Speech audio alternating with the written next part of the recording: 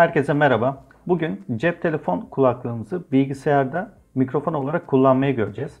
Bunun için bir uygulama ihtiyacımız var.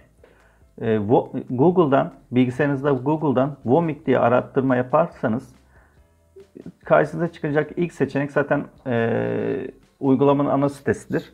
Buna tıkladığınızda yeni bir sayfa açılıyor. En altta indirme e, bölümüne geldiğinizde Windows için Client Setup Exe ve Driver Exe dosyaları var. Bu ikisini de kurun. Ben sadece client'ı kurmuştum. Hata vermişti. Bağlanamamıştım. O yüzden ikisini de kurmanızda fayda var.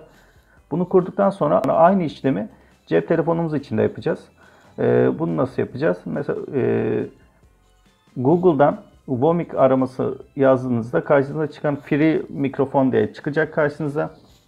Bir de bunun Pro'su var.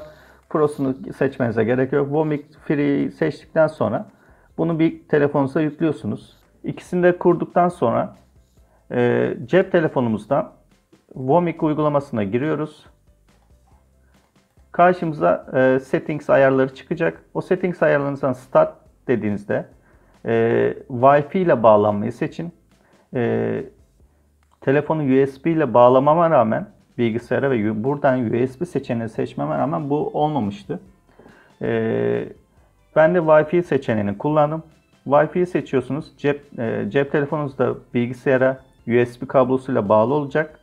Bunu yap, bu işlemi yaptıktan sonra telefonunuzdaki uygulamanın üst tarafına bir IP numarası çıkacak.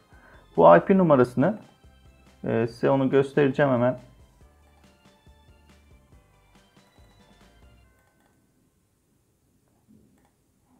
Connect, bilgisayarda connect diyorsunuz. Bilgisayar içinde göstereyim bir daha işlemleri.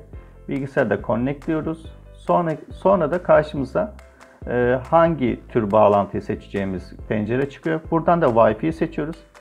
Wi-Fi'yi seçtikten sonra cep telefonumuzdaki IP numarasını burada uygulamada üst tarafta gözüken IP uygulamasını buraya yazıyorsunuz. OK diyorsunuz ve cep telefonunuz bağlanmış oluyor. Bunu kontrol etmek için de isterseniz şuradan kayıt aygıt, aygıtlarına girelim. Şu an ben gördüğünüz gibi Vomik device yani onun e, Vomik uygulamasının aracılığıyla bağlanıyorum. E, ve e, gördüğünüz gibi mikrofon şu an e, hiçbir sıkıntısı yok. Kaydını yapıyor. Buna tamam deyip çıkıyorum. Evet bugün e, cep telefon kulaklığını bilgisayarda mikrofon olarak kullanmayı gördük. Bir sonraki videoda görüşmek üzere. Yeni videolardan haberdar olmak için abone olmayı unutmayın. İyi günler.